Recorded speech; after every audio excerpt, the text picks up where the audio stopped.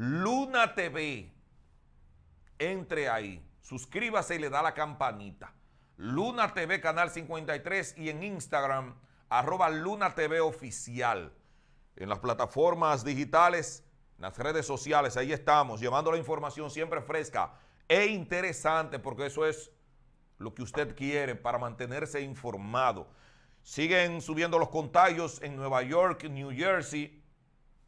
Lamentablemente, cuatro dominicanos de origen, de origen dominicano son sí. De Tamboril específicamente aquí en Santiago fallecieron. Qué pena. Paz al alma de esos hermanos. Hay muchos dominicanos infectados en Nueva York y en New Jersey. Es una pena. Lamentable lo que está sucediendo con nuestros hermanos en la ciudad de Nueva York, que es el foco principal de infección a nivel de Estados Unidos. Una desgracia. En la República Dominicana, Salud Pública pidió a la Procuraduría General de la República que prohíba las visitas al penal de la Victoria. Cuatro muertos infectados, hay muchos y se cree que es producto del coronavirus, el COVID-19. Eso es lo que se está hablando. Cuatro presos en cárcel de la Victoria han dado positivo, perdón, al COVID-19, no han muerto. Dieron positivo, corrió la información y dice Salud Pública que el contagio se produjo por eh, alguien del exterior que entró. Recuerden que hay imágenes, videos de muchos presos de la Victoria pidiéndole a sus familiares que se quedaran en sus casas, que no fueran a visitarlo, pues hay contagio ya y está circulando. Imagínese usted, en el penal de la Victoria, en la mayoría de las cárceles de este país, que son cementerios de hombres vivos, donde el SIDA, la tuberculosis, el dengue, la malaria, mata una cantidad enorme de privados de libertad.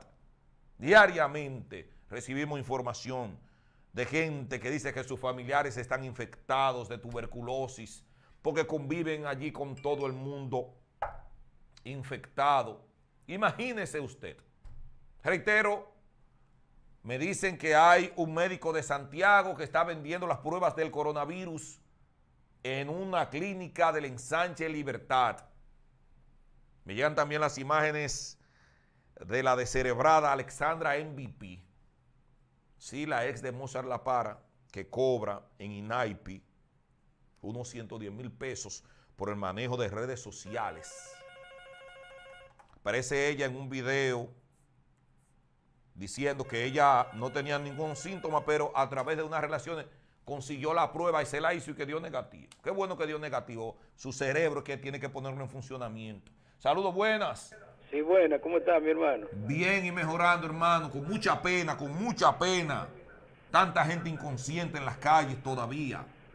Así es que, así que, mi hermano, una información que está en las redes de un presidente que va a ser presidente de este país que hizo un negocio falso con el ministro de China. ¿Qué, qué usted puede decir sobre eso? Que hizo un negocio falso. Sí. Eso fue desmentido ya por el embajador chino en República Dominicana. Sí, señor. El embajador, el embajador chino dice que esas son informaciones fraudulentas, que hubo falsificación en un documento. Se está hablando de Gonzalo Castillo, porque aquí hablamos con nombre y apellido. Adeptos al PRM han iniciado una campaña con un documento falsificado.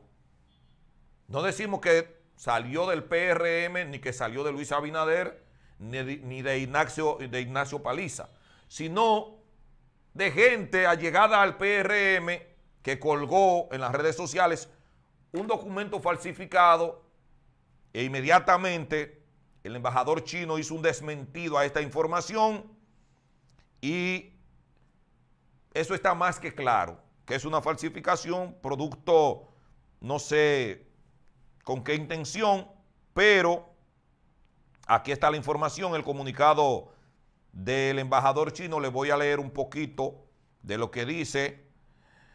La Embajada de la República Popular China informó que es falso un video publicado en redes sociales que muestra documentos falsificados aparentando firmas del Ministerio de Relaciones Exteriores chino sobre compras de medicamentos hechos por Gonzalo Castillo. En un comunicado difundido ayer, el embajador chino en el país explica que se opone a cualquier acto que intente perjudicar las relaciones bilaterales entre República Dominicana y China. Esta embajada realizará investigaciones ulteriores para establecer las responsabilidades correspondientes.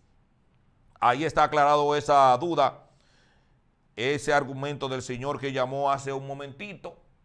También hay otra información colgada en un portal digital, creo que es séptimo día, que habla de que el plan de vuelo de un jet privado, propiedad de Gonzalo Castillo y la empresa Elidosa, no representa realmente lo que sucedió con ese vuelo. Primero, ellos no tienen el plan de vuelo porque es privado.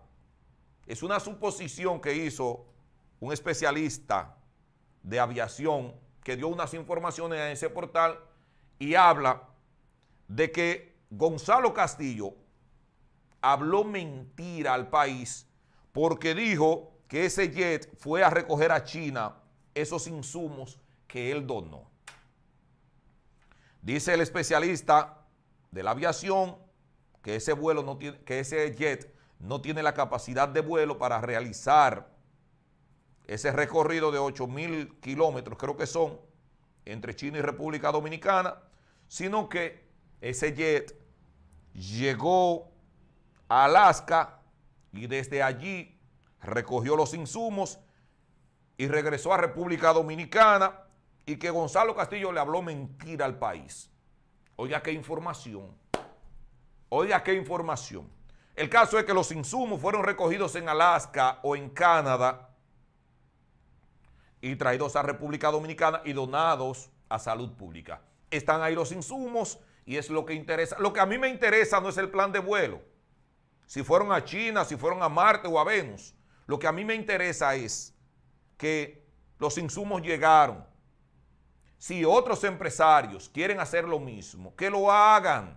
No nos podemos perder en minucias, percata minuta, de que si el plan de vuelo, de que si fue en Alaska, si fue en Canadá, si fue en China. No me jodan con eso. Si los insumos están ahí, sea del PLD, sea del PRM, sea del PRCC, sea de lo que sea. No importa. Que si es que le está devolviendo algo de dinero de lo que se ha robado en las licitaciones. A mí lo que me importa es que están los insumos y que se han utilizado esos insumos para salvar vidas, para proteger a los médicos que van a hacer uso de esas batas desechables, de esas mascarillas N95, de los medicamentos, que ya hay medicamentos en República Dominicana para tratar a los pacientes infectados. Eso es lo que a mí me interesa.